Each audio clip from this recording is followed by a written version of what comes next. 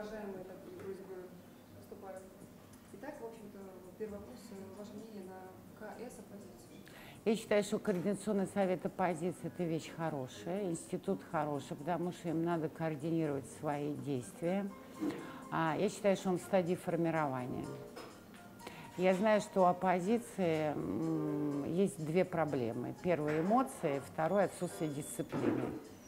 То есть это такая горизонталь, которая уже неуправляемая. То есть они мечтают о том, чтобы у них вообще не было вождизма и вертикали. В результате нет никакой организации.